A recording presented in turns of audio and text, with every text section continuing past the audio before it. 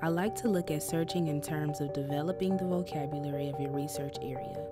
When you start researching, your vocabulary is very limited. As you start finding articles or books, more words become available to you that will help you find more resources. For example, take the hypothetical thesis statement of what is the effect of class size on student achievement in K through 6.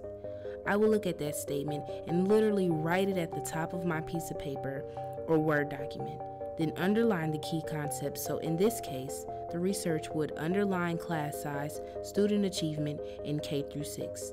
Next, think of those concepts as the circles of a Venn diagram. You, as the researcher, want to find the articles that touch on all three topics. You want the articles where all three circles connect. Oftentimes, a database like Articles Plus will allow you to have multiple search boxes at the same time.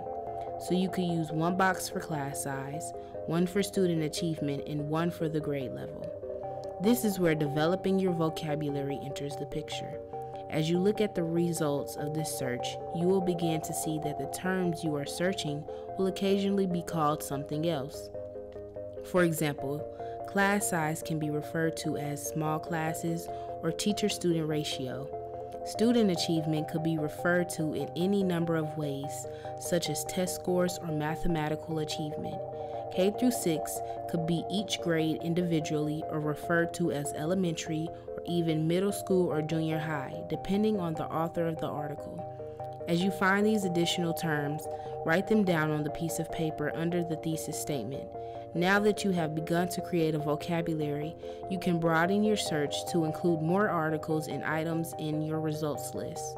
In databases like Articles Plus, once you conduct a search, you are able to do things like limit by date, select the type of resource you are interested in, or follow the database provided subject terms to find additional items on the same topic.